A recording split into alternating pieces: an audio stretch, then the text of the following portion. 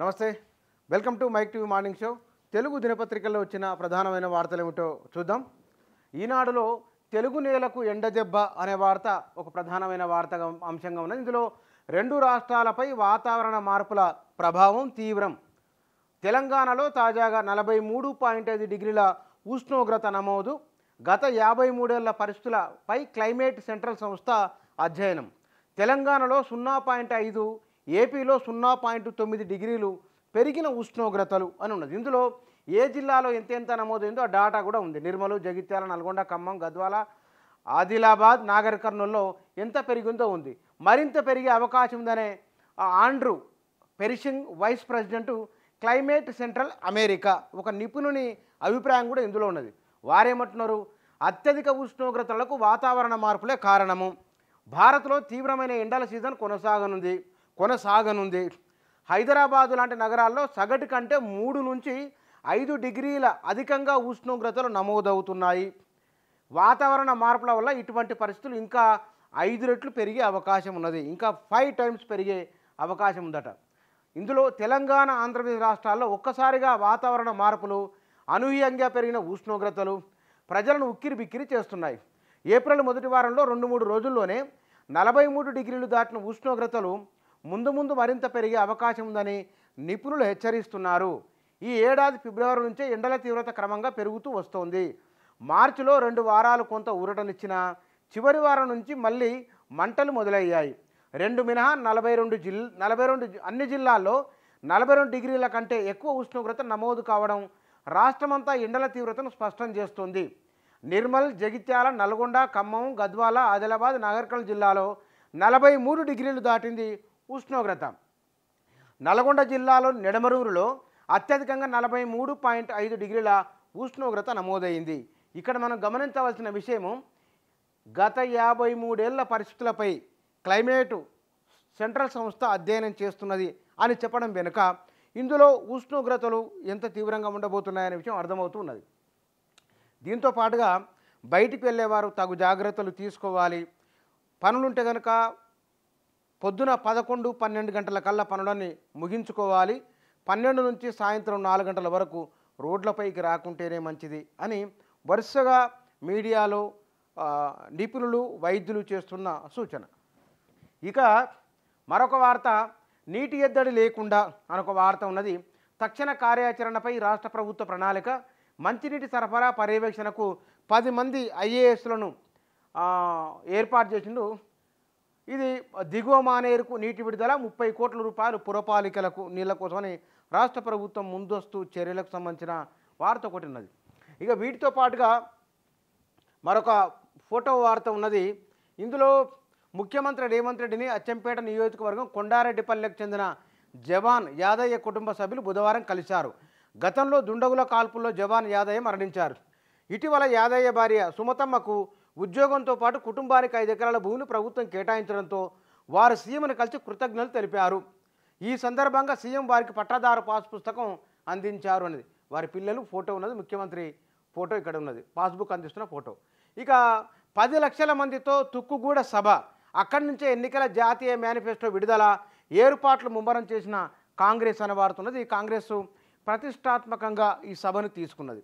Organic పరిశ్రమలో భారీ ప్రమాదం ఆయిల్ బాయిలర్ పేలి డైరెక్టర్ నలుగురు కార్మికుల దుర్మరణం అనే వార్త ఇందులో ఉన్నది. పదహారు మందికి గాయాలు అని కూడా ఉన్నది.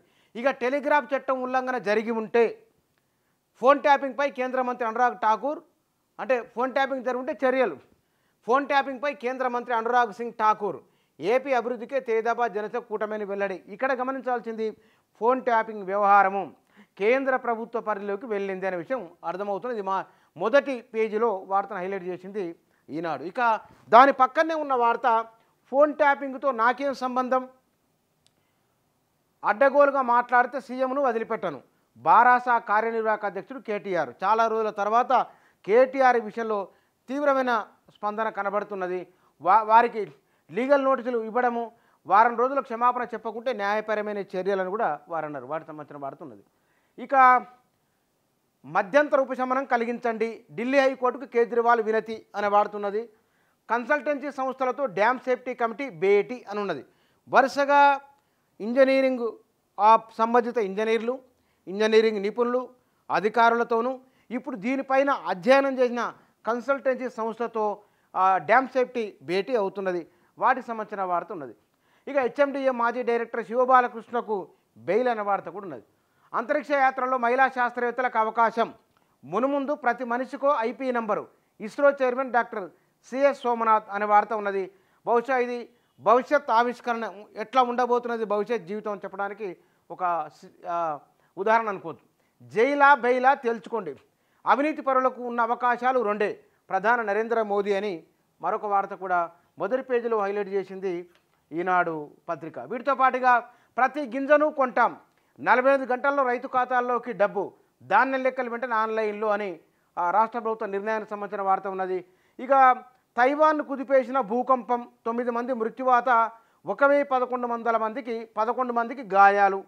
ఫోటో కూడా ఉన్నది. ఇందులో శాంతియుతంగా ఎన్నికల నిర్వహణ ఈసీకి వివరించిన సిఎస్ అనే వార్త కూడా మొదటి పేజీలో ఉన్నది. ఇక ఇందులో ఉన్న ఒక కార్టూను ఒక మంచి కార్టూన్ ఈనాళ్ళలో వచ్చింది. ఇందులో ఉన్నది ఇక్కడ ఒక గుండా ఫోటో ఉన్నది. ఆ గుండా ఫోటో కింద డీపేక్ వాయిస్ క్లోనింగ్లతో ఎన్నికలకు సవాళ్ళు అని నిన్న వచ్చింది. దాని మీద ఇది ఏఏ సృష్టించిన ఫోటో కాదు. నాదే. రాజకీయాలకు రాకముందు దిగిన ఫోటో అని ఈయన ఈ రాజకీయ నాయకుడు తన పాత జీవిత రాజకీయ జీవితాన్ని చెప్తున్నాడు. చాలా మంచి కార్టూను. రాజకీయాల్లోకి ఎవరు వస్తున్నారు ఎట్లా వస్తున్నారు అందరూ కాదు కొందరు ఎట్లున్నారు అని చెప్పడానికి ఒక ఉదాహరణగా ఈనాళ్ళు వచ్చిన కార్టూన్ చాలా బాగుంది అది. ఇక ఆంధ్రజ్యోతిలో ఆంధ్రజ్యోతిలో ఇయర్ ప్యానల్లో ఉన్న వార్త ఇది ఇంటర్నేషనల్ న్యూస్ ఇది. Biden versus Jinping. వీళ్ళిద్దరు ఫోన్లో రెండు గంటలు తిట్టుకున్నారు. ఆ తిట్టుకున్న వాటికి సంబంధించిన వార్త ఇది. ఫోన్లో అమెరికా చైనా అధ్యక్షుల సంవాదం. హై టెక్నాలజీ గురించి మాటల తూటాలు.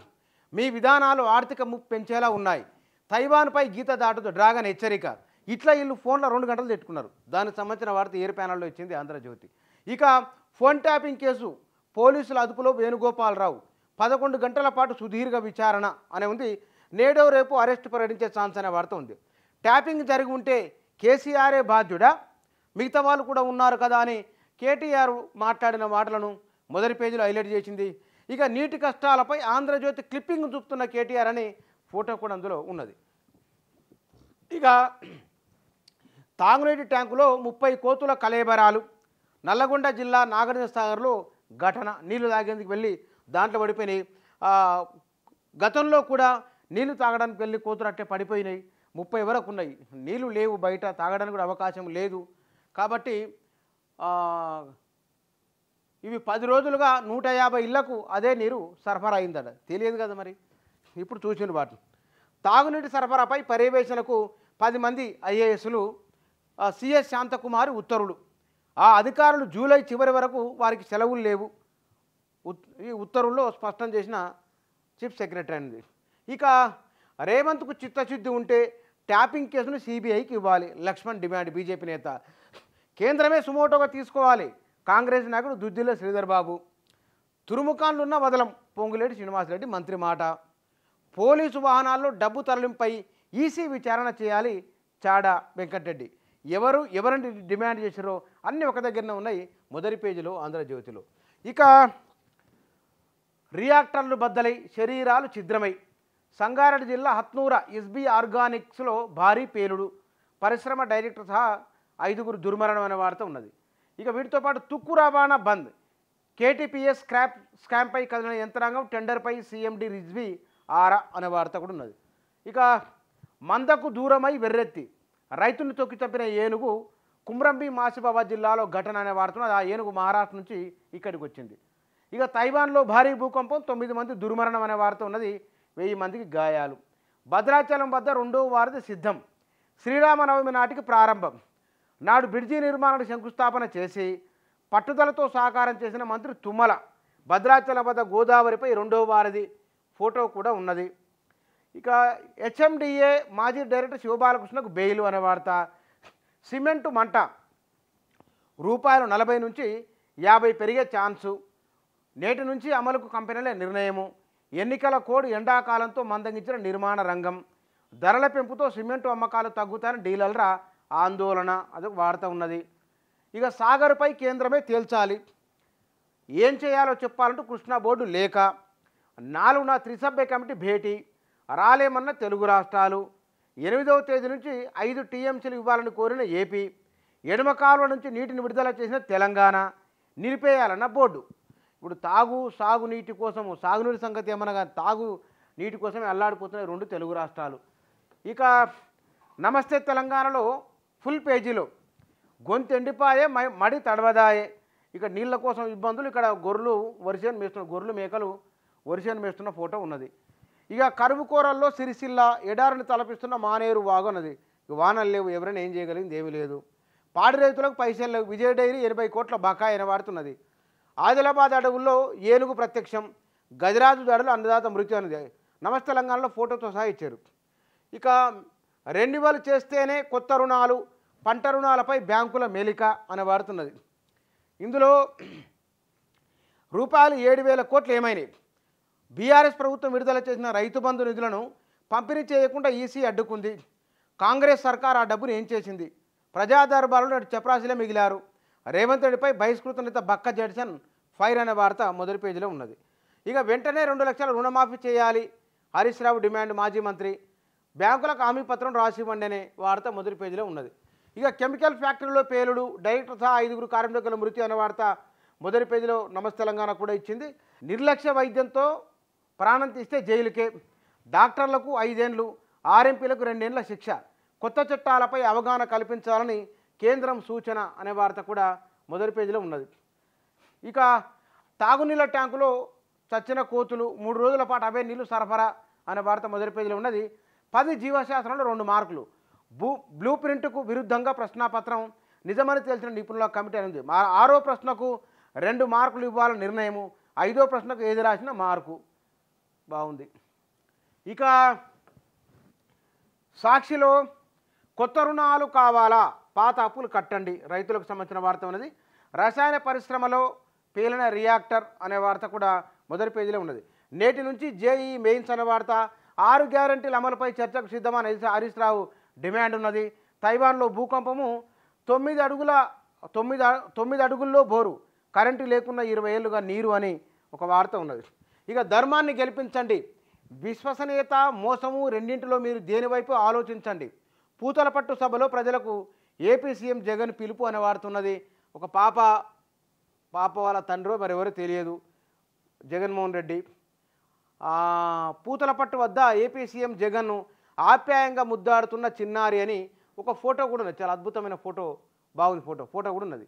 ఇందిరమ్మ స్థానం మన ఖాతాలోకే. మెదక్ లోక్సభ నియోజకవర్గ సమీక్షలో సీఎం రేవంత్ రెడ్డి అనే వార్త కూడా మొదటి పేజీలో ఉన్నది. నా వ్యక్తిత్వ హననానికి రేవంత్ యత్నం అని మీడియా సమావేశంలో కేటీఆర్ మాట్లాడుతున్న ఫోటో నీళ్ళకు పడుతున్న బాధలకు సంబంధించిన ఒక క్లిప్పింగ్ కూడా ఆయన చూపిస్తున్నారు. నీటి ఎద్దడి నివారణ ఎలా అనే ఒక వార్త ఉన్నది. కృష్ణా జలాలు తీసుకుంది చాలు అని రెండు రాష్ట్రాలకు సంబంధించింది. బీజేపీ ఎందుకు సుమోటగా తీసుకోవడం లేదు అని మంత్రులు ప్రశ్నించింది ఫోన్ ట్యాపింగ్ వ్యవహారంలో. తర్వాత జిల్లా కేటగిరీ పోస్టులకు ఒకటి నిష్పత్తి మూడు అనేది ఉద్యోగ నియామక పరీక్షల్లో టీఎస్పిఎస్సి వ్యూహం. ఒకటి కంటే ఎక్కువ ఉద్యోగాలు వచ్చినా పూర్తి స్థాయి భర్తీకి అవకాశం. జోనల్ మల్టీ జోనల్ పోస్టులకు మాత్రం వన్ ఇస్ టు టూ నిష్పత్తిలో ఎంపిక అనే వార్తున్నది. నాలుగు తెలుగు దినపత్రికలు మొదటి పేజీలో ప్రాధాన్యత ఇచ్చిన వార్తాంశాలు ఇవి.